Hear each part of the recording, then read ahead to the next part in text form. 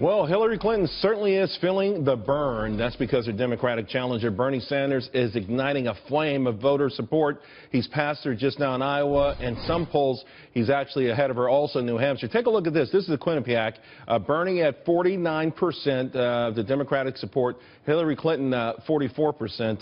And I got to tell you something. Back in December, that same survey showed Clinton at 51%. Sanders way back at 40%. Joining me now, Tammy Bruce, Julie Roginsky, and Mark Serrano. Uh, Julie, let me start with you. Uh, any any sense of panic? Because we've seen this movie before. Yeah, I'm having deja vu. Uh, panic? I don't know.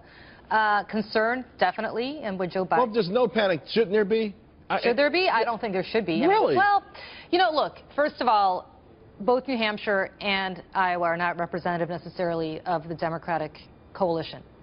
South Carolina is more representative, but it's more minority representative, and that's part of the Democratic coalition. As Super Tuesday happens, the southern states vote, Florida votes, Nevada votes. That's more representative of what Democrats across the country look like, what that coalition looks Al like. So, although, although if, if Bernie Sanders were the winner, it adds mm. credence to the idea that a lot of Democrats are ready to cross the aisle in a general election in November. Yeah, there's a legitimacy that Iowa can bestow, and that's what it did for Barack Obama in 2008. It sent a message to the nation that, oh, we can take this guy seriously.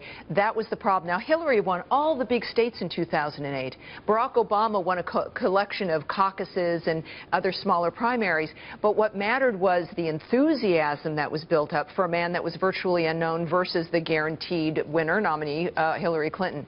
She's at risk of the same thing happening. But the bigger risk is what are the stories that will come out about the, from the FBI, from the DOJ, about not just the emails, of course, but about the personal enrichment with the foundation. That's the real risk. Let me just say this. Barack Obama did incredibly well with minority voters who are mm.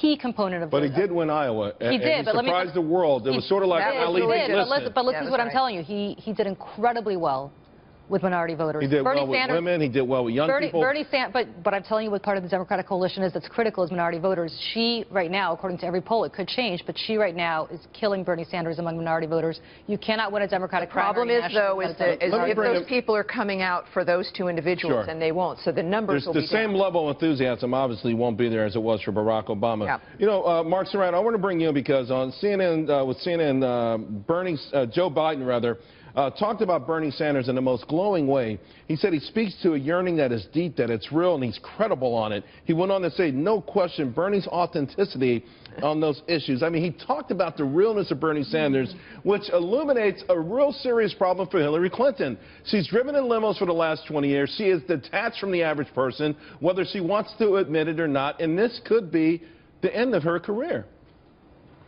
Charles, make no doubt about it. Those comments from Vice President Biden were very calculated. You know, it's no mistake that he's talking about these things, largely because the elite of the party are in a panic. They're concerned about an indictment. They are looking at the polling. Look, that shift in polling shifted 16 points in a month against Hillary Clinton. That look at the trend line. The trend is not good. Bernie Sanders is sitting on 20 plus million dollars, and that guy is in this race for a while. Let me tell you what Joe Biden's comments looked like to me.